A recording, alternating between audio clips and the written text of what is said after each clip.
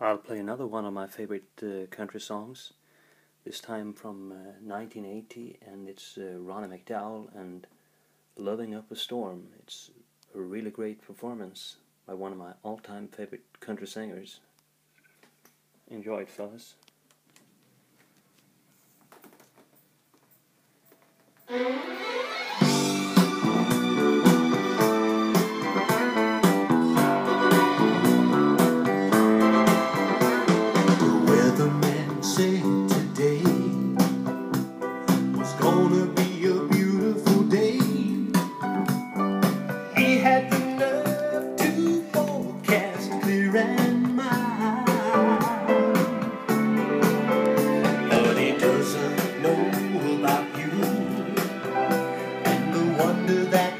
Can do